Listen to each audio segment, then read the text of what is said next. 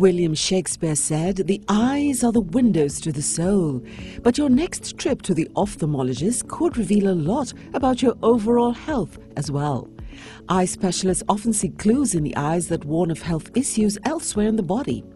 Ophthalmologist Dr. Deborah Bartholomew of Trinidad Eye Hospital is in agreement with us. Even with regard to diabetes and high blood pressure, we can often see changes taking place in the eye even before someone is diagnosed with diabetes or with high blood pressure. But it is an extraordinary fact that women are at greater risk for some eye diseases than men.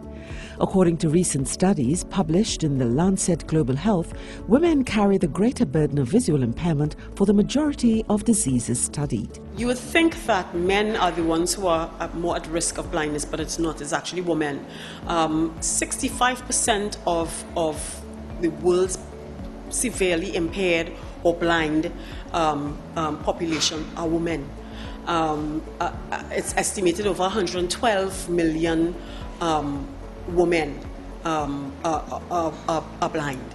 This is so because the doctor says women's bodies are different to men's. Hormones play a part. So there are times when hormones will, will your hormones will change during pregnancy, during perimenopause and menopause, where you can get eye problems.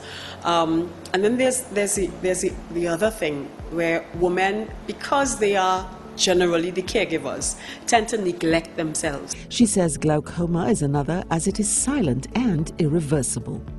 Another malady that is a big threat are dry eyes. The Sahara dust is a huge factor. Okay, um, Sahara dust not only causes dryness but also causes irritation.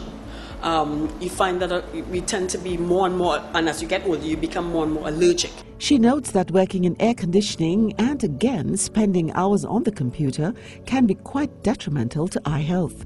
Her solution for this is a unique rule. If you do spend a lot of time on, on the computer, there is a rule called the 20-20-20 rule. Every 20 minutes, you take a 20 second break uh, and you blink 20 times, but you also look 20 feet into the distance. One of the things that that will do, especially as we get um, we get past the age of 40, is that it breaks the cycle of accommodation because when you are accommodating all the time it's like it's like lifting something with your biceps all day. Dr bartholomew says besides this rule self-care that is eating well also lubricating the eye and exercising consistently can go a long way to keeping eyes healthy. Mary therese bernard for health check